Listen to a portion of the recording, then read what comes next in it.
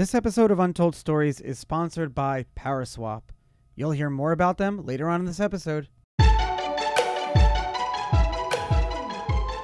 What is up, everyone? I am Charlie Shrem, and you are listening and watching Untold Stories, where twice a week together we get to dive deep with some of crypto's most influential leaders to understand how this movement came to be, where we came from, where we are now, and where we're going in the future, and try to like connect and bridge all these different topics Web3, metaverse, Bitcoin, mining, NFTs, proof of work, proof of stake, uh, public traded companies, SPACs. There's all this lingo and people are throwing around all these different things, but we don't really know what they're doing or how they all kind of connect together.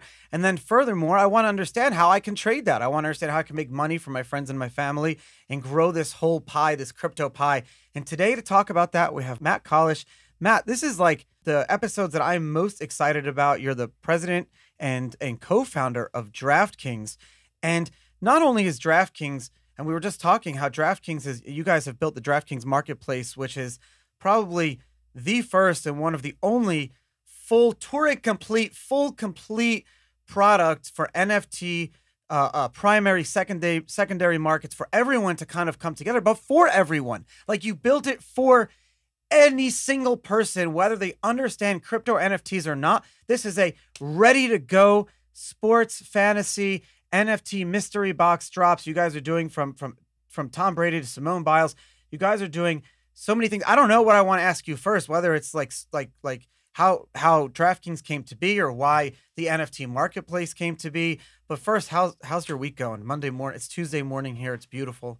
Loving life, man. Everything is really good uh, right in the thick of the best part of the year at DraftKings. You know, NFL season about midway through, NBA is kicking off. We have a lot of uh, exciting stuff going on in the NFT space, and our newest venture with DraftKings Marketplace is really picking up steam.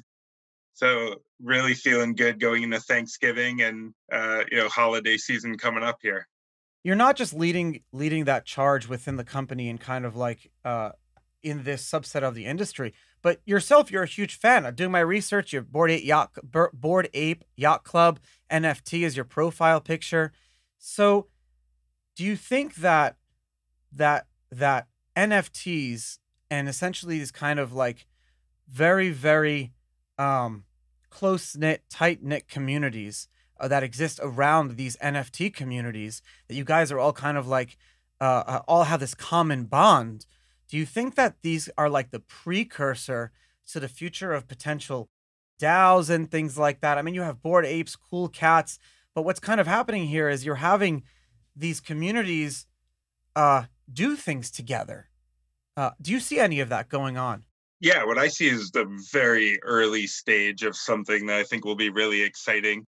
You know, at DraftKings, we're our strategy is very audience centric. It's kind of our we start with our audience of we have over 10 million people in our database in the US uh, who are what we call skin in the game sports fans. It's people that, you know, when you're watching football, you don't just want to sit there and watch. You want to predict things, you want to play, you want to compete with your friends. There's a lot of people, like tens of millions of people out there like that. And we built up a large, you know, audience over about 10 years of operating and what we found is that by following our audience and their interests and where their attention's going, that's been a pretty good way to build our product roadmap. So, yeah, we started with fantasy sports, then we branched into sports betting, iGaming, and more recently, uh, DraftKings Marketplace.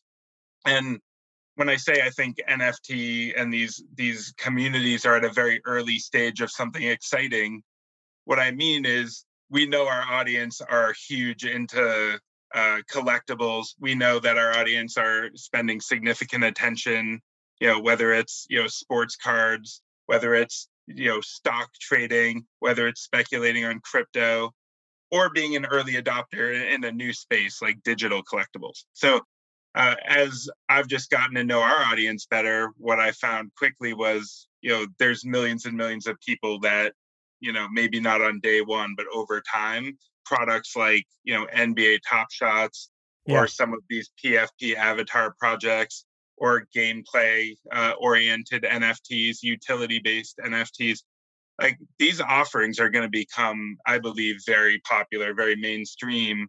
And we're really in that early stage where small communities are coming together and they're really kind of the thought leaders in their friend groups uh, or in their families. They're spreading the word, and the word is spreading rapidly. So while I believe there'll be ups and downs and you know successful projects and projects that flop, the macro trend I see coming is you know high levels of adoption going into digital collectibles and basically all things NFT driven, whether that's gameplay, forms of utility or real life value, etc. I want to understand like what that future kind of looks like, but I want to understand really I'm I'm more curious look, like DraftKings, you guys are arguably the pioneer in modern day fantasy sports. Uh, I remember 2012, I was uh, in in university and college, and I was following very closely uh, the future of the business world. And you take note of businesses and companies that kind of steer the direction of of humanity, all socioeconomic classes of everyone. Now you're kind of like solidified in that. What I what I want to know and what like entrepreneurs, all of the listeners who are running their own businesses want to know is how do you listen to your audience? I mean, this is something that every business wish, wishes they could do on a day to day basis because then you could operate the most successful company in the world. You know your market, you know your users, you know you know who's paying you. Uh, now here you are, kind of re-pioneering an industry that hasn't even entered the forest to trailblaze. This is so new. So how do you listen to your audience? Like what advice could you almost give to me and other people about that because you've been doing it so successfully? Yeah, that's kind of the origin of DraftKings to start with is this idea like it kind of sucks to be a sports fan in the US 10 years ago if you're a skin in the game. I remember. If you like to play, you like to predict, you know, what could you even do 10 years ago? You were playing maybe season long fantasy on ESPN or Yahoo maybe you had an illegal offshore sports book or some bookie or you had some kind of like sports pool at your workplace where everybody put in $10 there wasn't a lot of options. And time after time after time draftkings through just having a point of view that there's tens of millions of skin in the game sports fans out there that want a deeper better experience starting with sports you know that's what led to us developing this fantasy sports concept that then you know gained mass appeal and millions of users and that's what let us extend our brand into products like sports betting and what let us extend our brand into iGaming and now into collectibles and NFTs. It's just following that interest and where the attention's going. And I think DraftKings in a lot of ways is a case study of like what happens if you let like entrepreneurs, you let builders keep control of a company as it gets big and control the roadmap and really deliver a vision over a long term. Like DraftKings is still founder led. All three, Jason Paul and I, we run the vast majority Almost of the 10 years now, right? Yeah, 10 years in. Unbelievable. Yeah, we've raised a bunch of fundraising rounds. We've went public. You know, we've done a lot of growth, you know, but all of that has had one one sort of condition to it, which is we wanted it to be a founder led company where over the course of many years we could realize our vision over the long term. And so, still to this day, we control our roadmap, we control the investments that DraftKings is making. I think that's led us, you know, uh, kind of run this really interesting experiment, which is what if you let the entrepreneur, the builder keep building and like keep holding the ball, you know? It's not run by bankers it's not run by private equity company you know draftkings is still a founder led business. So i think that's what let us be agile what's let us take risks on extending the brand and we've been right enough times to have credibility on that now. I call you a missionary founder. Missionary founders are ones who are or you, you you founded your product your service your business to change humanity but also you're so mission focused that your first incentive is not that money. So therefore, when it comes time to to points where other people can take over the company, uh, because you're a missionary founder, you're mission focused. This is your incentive in life. Then then that trumps that, and it's a beautiful thing. I talk to economists, psychologists all the time, and everyone comes down to the same thing. There is something that actually uh, can can that something that makes us tick more than money. We always thought it was like money that fueled the world. It's not. There's something that changes, and it's this validation of a legacy. We don't want to be buried alone. We want to be with other people. Humans need to be with other humans. We want to love and we want to be loved and we want to have validation from the world. And it's something in our DNA. No one can really explain it. And that's kind of what missionary founders have. 10 years later, I'm sure there have been times when when other people you could have stepped back and other people could have taken over. I'm sure there are times that you're stressed out. I'm stressed out all the time.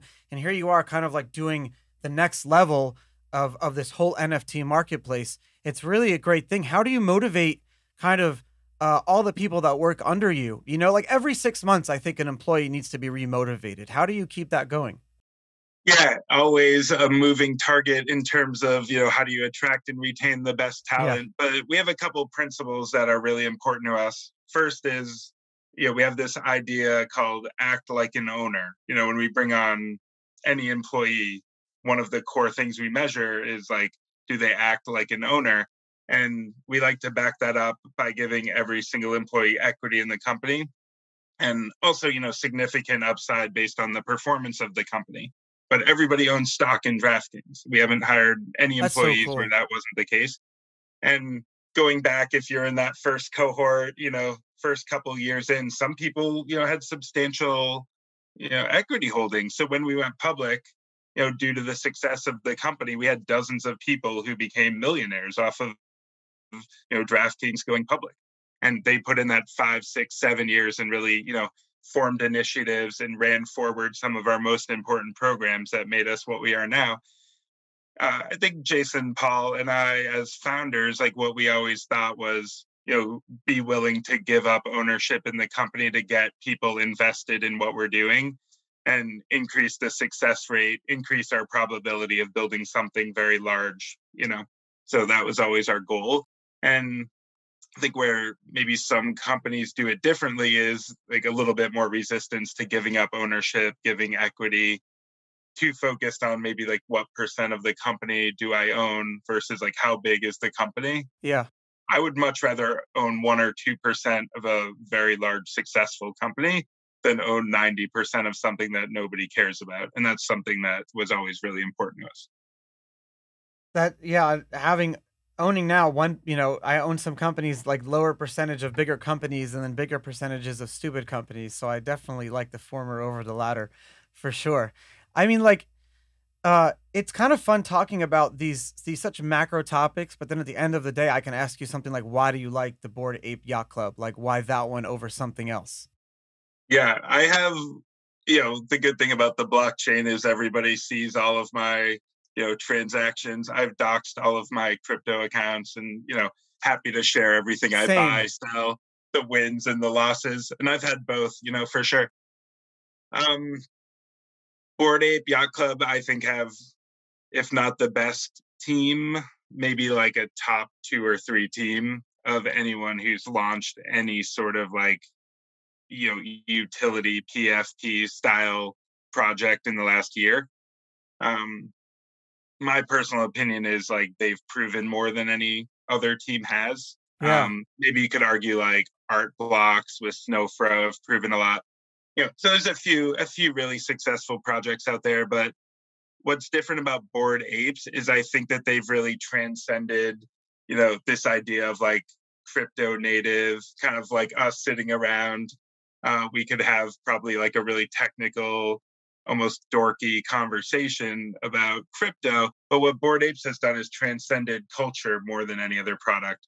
So you see, you know, NBA players, rappers, you know, entrepreneurs, a huge swath of highly culturally relevant figures jumping in and supporting Bored Apes Yacht Club publicly. And so I think that the image around that project stands out more than anything else. And I could see them taking the ball much further, you know, from where it is now. Like they they're just sort of getting started. I saw like yesterday, Post Malone was public. He had two bored apes. Jimmy Fallon was in the news.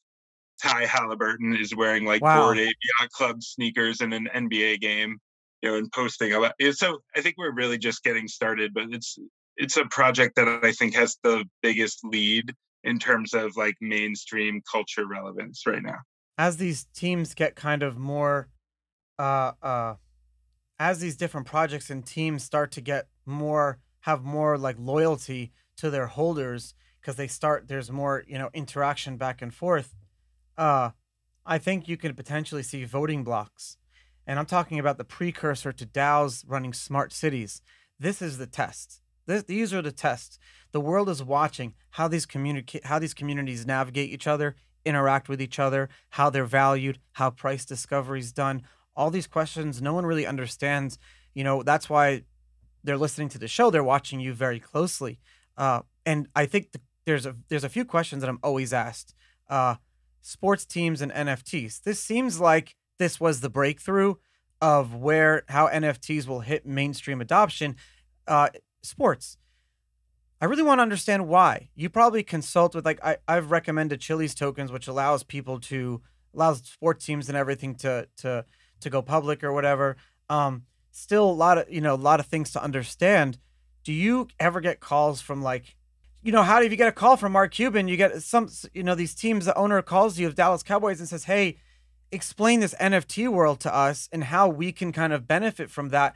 What's the answer? Is it fan loyalty? Is it revenue stream? Is it this is a free thing? What kind of angle?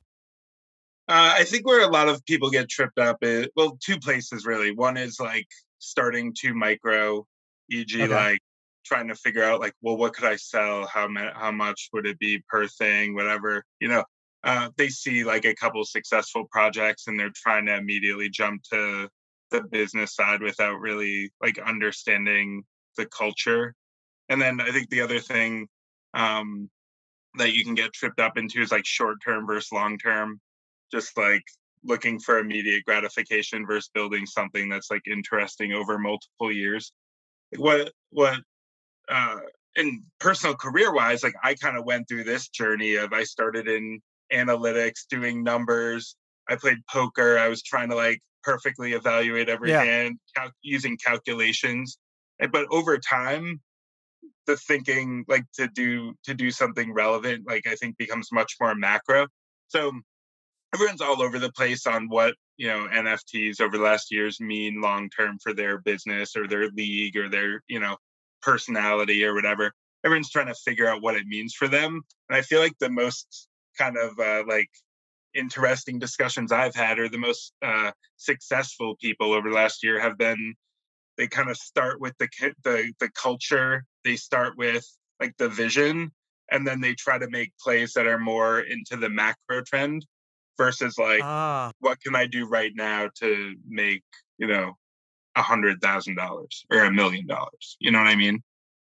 So right now I see a lot of like you'll see you'll see uh, signed or collectible or limited editions be be sold for for like a low dollar amount, but a lot of times uh, these teams, you know, working with you guys will give away free NFTs. And I had a, a guest on the show and he said that's the move. He said at some point, we're going to be competing for everyone's wallet.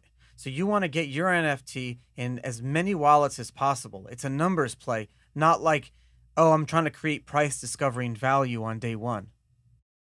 Yeah, like my my thought on most digital collectibles, there are some projects that have pretty hard physical real life value. I'd say like v VeeFriends, where sure.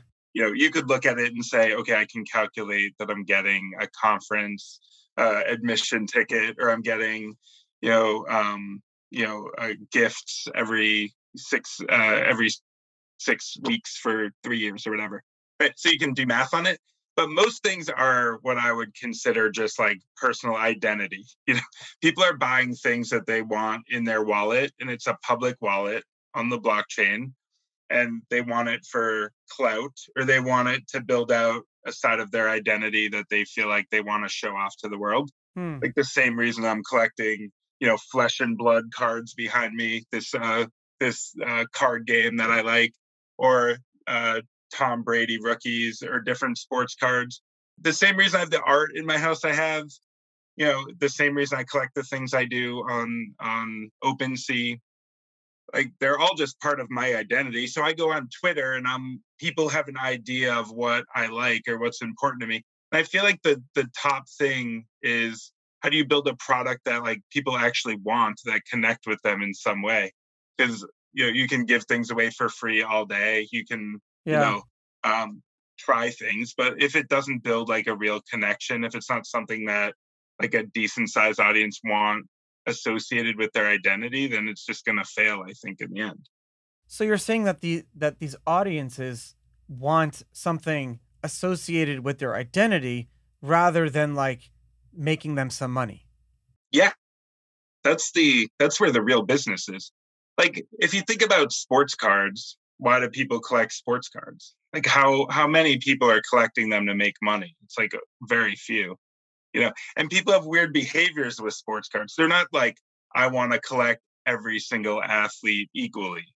You know, when I was growing up, I wanted every yeah. Charles Barkley. You know, I wanted to collect Barkley. I had a friend who was like Ken Griffey Jr.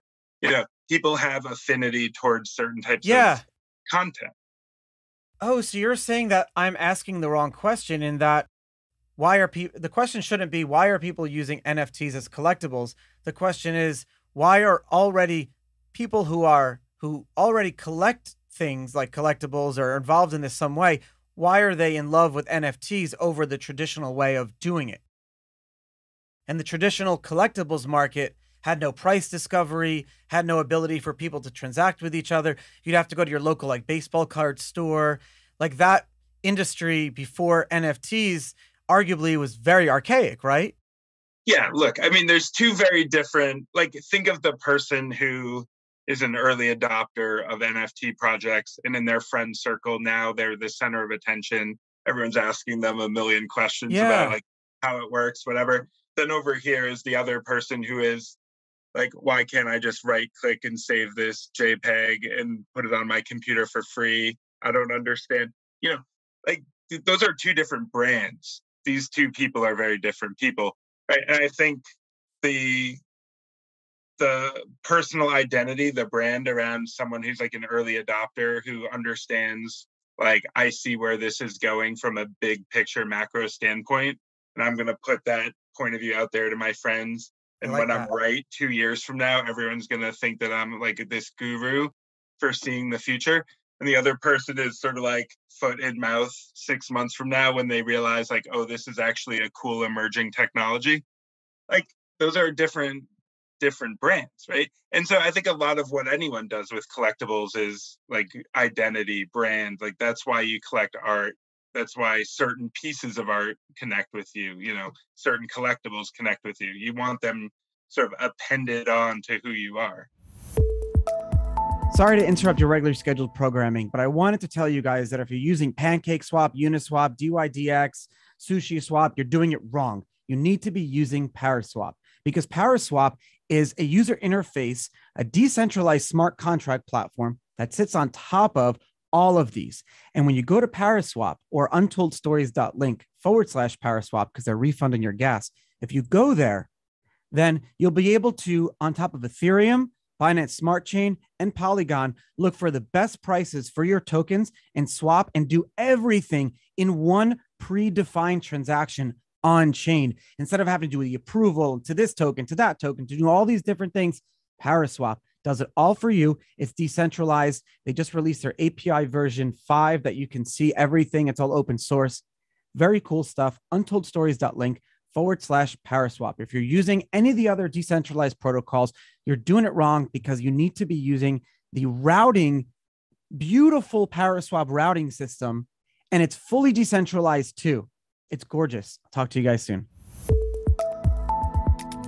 The NFT industry now can be broken up into multiple. You have the collectibles and you have sports, and you have things like I I play online. I play I watch horse racing where I have my own NFT horse and I breed a Zed Run and I breed Zed the Run. horse. It's great. Um, I never thought about that quote you said. Title the episode that quote. It you know about how how uh I already forgot I already forgot the quote about collectibles or whatever, but we'll bring it back after. Um, because I was really thinking about when I was younger, um, I was given a gift, a Roberto Clemente in action card from like 1976. And I was never a, a card collector before then. But because I was given that gift, I wanted to own, like you said, I wanted to own all of a sudden like every inaction card that was made during that year. I just wanted to like have my niche of collecting because that was part of that was my identity. And so now we're moving towards this digital world. Well, we are in this digital world with everything digital payments, Web 3.0. And non fungible tokens, what we know them as NFTs, will be the de facto part of our digital identity. It is what people will look at us when we want to express ourselves. It used to be with Facebook and Twitter and, and likes and things like that, but this is the next level. This is the Web three. It, it, it bringing it all together is just so awesome. Yeah, it's it's a really incredible emerging space for sure. Tell, tell me about the the DraftKings marketplace and why, like, how you've created this kind of like turnkey, full, complete everything uh, from the drops to the secondary market to the interactions with everything together. You don't you don't leave anything where the user has to go anywhere else. They can do it all from within. We have one of the most important you know aspects of any marketplace which is we have a really large audience uh, and our audience is already engaged very highly. You know we have people playing every single day. They come on whether it's sports betting fantasy they're on the platform and we have millions of those people and they have funded accounts. Like they have a, an account balance on draftkings they have credit cards on file you know so a lot of that friction of like getting started with a marketplace and doing that at large scale that's our advantage right? Like if you think about how difficult it would be for somebody to step in and compete with like ebay you know ebay has millions of users it would be tough to compete with yeah. ebay you know in creating a marketplace. I think that there's sort of like this benefit that we have from just already having an at scale audience of the right sort of, you know, consumer to build a marketplace like this. So then we went in with the perspective of, well, where is that audience right now in the crypto native kind of like learning curve? And our perspective is that's coming quickly like very quickly, but right now there's still a lot of people more comfortable with fiat payment, right? And if you look at products like NBA Top Shot, I think it would be a good testament, like even leaving DraftKings out of it, how many people were able to jump on and sure. open packs on NBA Top Shot paying $9 versus how many people are doing, you know, uh, crypto first, Ethereum, you know, minting and things like that, or buying on OpenSea you know much more comfort today from like a mass market standpoint with fiat so what we led with was you can use your account you can use the money you have in your account already to transact in DraftKings marketplace you basically don't have to do anything right you just look at the drops if you want to buy them you can uh, you can use the existing balance the existing account you already have so that was our entry point and we launched with one partner called autograph and Autograph is this NFT company that uh, Tom Brady and Rich Rosenblatt are the two co-chairs of. Uh, CEOs Dylan Rosenblatt. They have some incredible, you know, name, image, likeness rights around a lot of the favorite athletes of DraftKings uh, uh, players, like Tom Brady, Simone Biles, Usain Bolt, Wayne Gretzky. You know, like icons of sport. And going back to like why do people collect things you know these athletes have tremendous followings so what we saw out of the gate was you know this is a good mainstream way to to bring to market collectibles that have mass appeal that people genuinely want in their collections they want to hold i never realized how how much sports is a part of our identity as human beings until this this podcast uh going back from from from the Olympics in in Greece, you know, in the old Greek Olympics to now, uh, even how the Romans had sport and things like that. I never realized how much it was a part of everyone's identity. I think Matt until until sports were canceled during COVID for that first year. Because you'd look, you'd be at the barbershop looking on TV, and that constant that's been part of your life since the day you were born was not there. Yeah. It was a really scary thing. Yeah. What yeah. what is it about about sports and our interaction with sports and and this whole Like, what is it about it? Have you ever sat and thought about this question that makes that is such a part of like our our hearts, or pillars of our lives? Um, lots of things. I mean, I think the number one thing about sports that like really connect with us is that there's like a real concrete scoreboard and winners and losers. Like there is always perfect resolution to sports. So many Ooh. things in life don't have perfect resolution. Like, am I successful? Am I a good friend? Am I like a good son? Am I doing enough to help my community? My Whatever. good Like, husband, yeah. yeah sports you always know kind of like what happened maybe it's totally fair maybe you feel like you got you know a bad call from a ref or something but at the end of the day there's a winner there's a score there's a champion at the end of the season then you run it back and everyone's constantly trying to improve and so i think there's something about like the finality of like you always know the outcome and you can root for your team on a journey and be a part of something that makes sports really special and yeah, I think that relate to collectibles a lot because you know I'm a I'm like a Celtics fan. I have season tickets to the Celtics. I go to every game I can. I'm never selling if I have like a Jaylen Brown rookie or a, a Tatum or um, you know even Al Horford now that he's back or Schroeder. You know I'm never selling their stuff, right? But if somebody gave me like a Kevin Durant, I'm like I don't really care. I'll sell Kevin Durant like I'll sell his rookie card because I don't have a connection to that card. And He's I a big listener of the do. show, by the way. I'm just letting you know. No, I'm joking. He's not. Maybe he is. I don't know. I like Kevin Durant, like nice, nice guy, but I don't have a real genuine connection to Yeah, him because course. he's not on my team, and I know somebody else he is on their team, and they're going to put a high premium on that. So I think that's kind of a lot of the secondary transacting in collectibles is like migration of stuff to people with very high affinity for it and pushing away things that you have low affinity for. That's a lot of what the secondary market is. I always that's that was really kind of my next question is I is I don't you know I I think we're starting to understand why the how the what you know getting that collectible or or playing card or or or or, or horse that you can breed or a piece of artwork that I was that I saw my wife saw the other day she wanted to buy that we were at a at an event and they were selling the NFT versions of this digital beautiful artwork. I understand all of that now. And once it's in my wallet, you have this secondary market with like price discovery.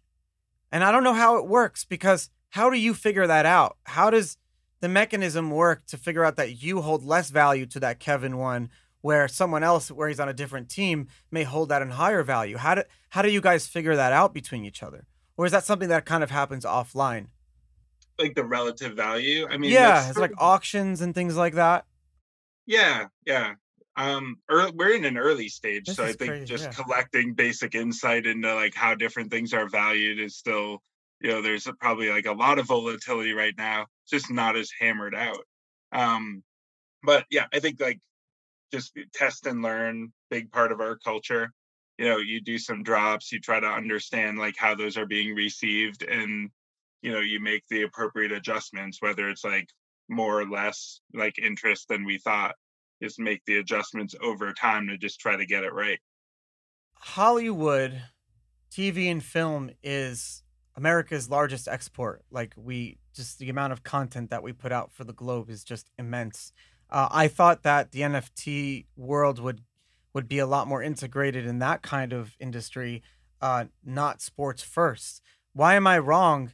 But really, because and the side, question is, I in my other life I'm a film producer too, so I kind of want to understand how because I'm being asked by studios all the time, like, what do we do? I have I have studios that own all these IP catalogs of of movies going back, you know, dozens of years, and they don't really know what to do. No one really knows what to do in that industry. Yeah, it's probably a combination of like early stage trying to navigate some really complex like Macro IP. stuff. Yeah, yeah. There's like I think start with the macro vision of like, is there demand for you know movie, music, like this sort of product? Yes. And then it gets down into the to the levels of these companies and everyone's getting all tangled up in well, how does IP work? What is the like yeah, copyright? What are my distribution rights? Like what can or can't I do?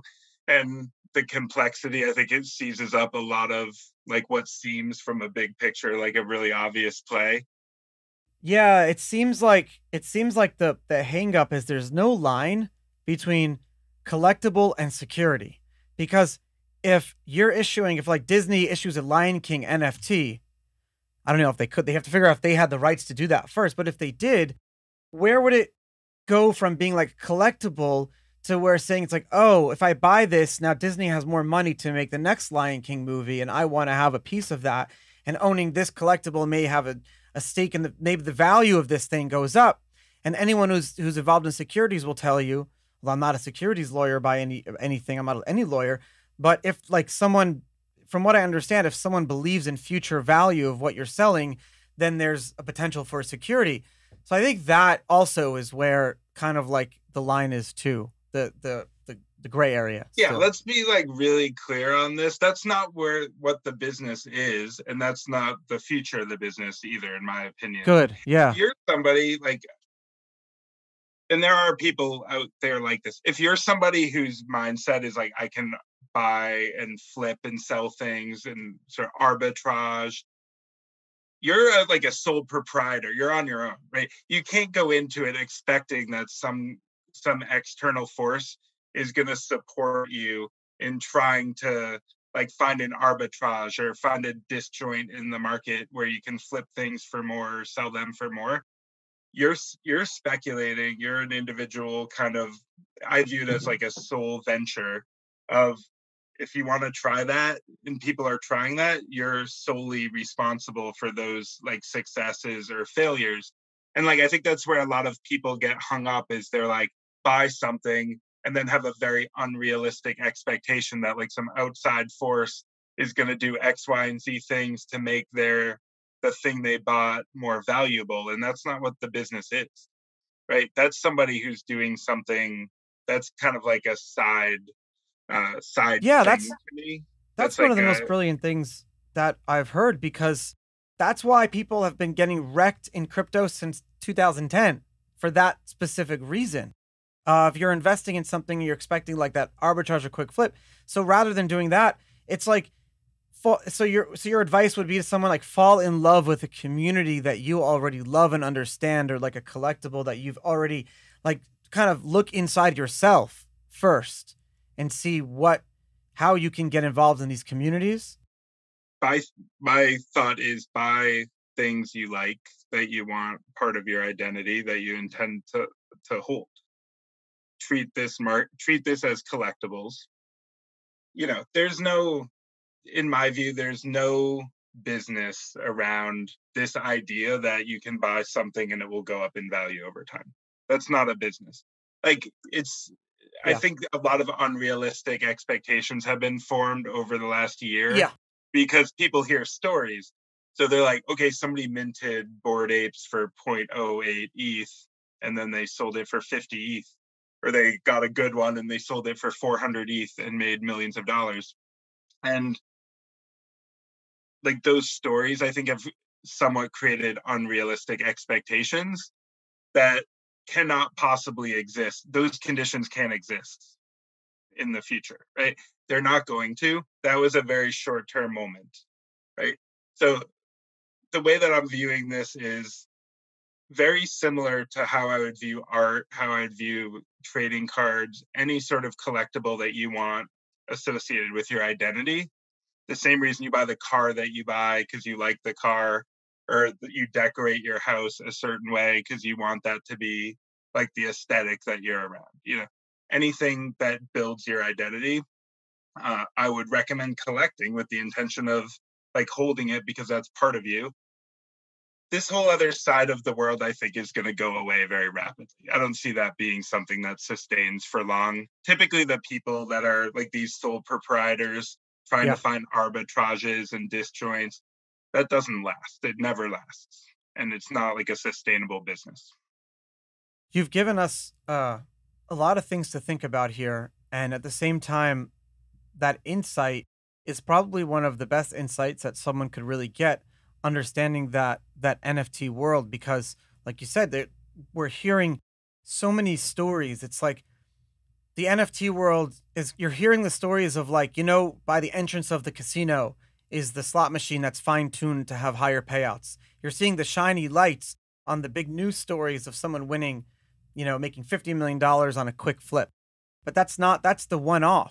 You got to come to untold stories to hear the stories that are untold, where it's not the one offs. You're getting the information that you just gave us. So thank you for doing that. I really appreciate you coming on the show today and, and talking about this, uh, uh, giving us a very good understanding, a masterclass on really NFTs and where they're going, uh, DraftKings, and why you guys are supporting all those communities, and why you like what you like, and why we should all continue investing ourselves and invest in what we like. Yeah, you're never unhappy with something if you bought if you bought it because you like it. Like, do you think Post Malone cares if his bored Ape, what he paid for it, if it goes up, if it goes down? He doesn't care. It's like that's brand. He's building his brand. He's like, basically saying to the world, I get it. I understand this technology. I understand the culture around it. It's disruptive. It's innovative. It's cool. The vibes are like immaculate on social. I want to be a part of that. I want to like hug in this world that's emerging. What do you, that's what everyone's doing. That's what Snoop Dogg is doing. That's what Jimmy Fallon is doing. They're siphoning this like social clout and the, the sort of culture around a really exciting, innovative space. This isn't like I hope it goes up in value. That's not what they're doing. And that's what they're doing is what the end state is, I truly believe. I think that's where very quickly we will end up with this space. Wow. Thank you so much for coming on Untold Stories today. And I'll talk to you in a little bit. All right. Take care.